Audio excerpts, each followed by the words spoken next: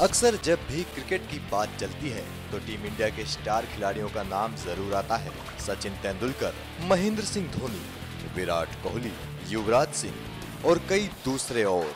ये वो नाम है, जिनके बिना भारतीय क्रिकेट बिल्कुल अधूरा है।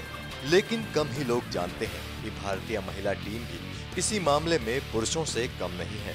भारतीय महिलाओं ने आईसीसी विश्व कप क्वालिफायर क्रिकेट टूर्नामेंट के सुपर सिक्स मुकाबले में साउथ अफ्रीका को उनचास रनों से हराकर बेहतरीन शुरुआत की। भारत की इस जीत में कप्तान मिताली राज, मोना मेशराम, शिखा पांडे और एकता बिष्ट का विशेष योगदान रहा।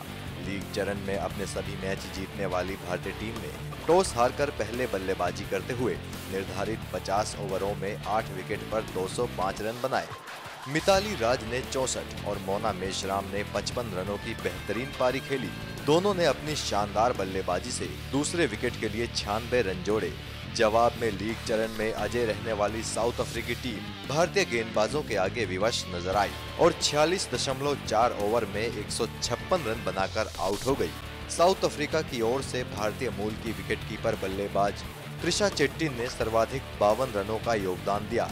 भारत के लिए शिखा पांडे ने अपने करियर का सर्वश्रेष्ठ प्रदर्शन करते हुए 34 रन देकर चार विकेट लिए, जबकि स्पिनर एकता बिष्ट ने 10 ओवर में 22 रन देकर तीन विकेट हासिल किए।